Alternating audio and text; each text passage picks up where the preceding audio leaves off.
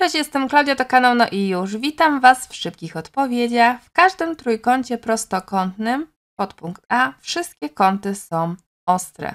No nie, to od razu odpada, no bo musi być jeden prosty.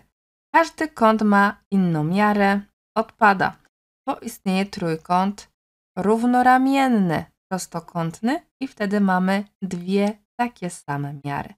Suma miar kątów ostrych wynosi 180 stopni. No nie, bo mamy tam jeszcze jeden kąt prosty. Więc suma miar kątów ostrych wynosi 90, ok, bo będą dwa, plus ten jeden prostokątny, łącznie 180 stopni, a tyle wynosi miara kątów w trójkątach. Więc zaznaczamy odpowiedź D.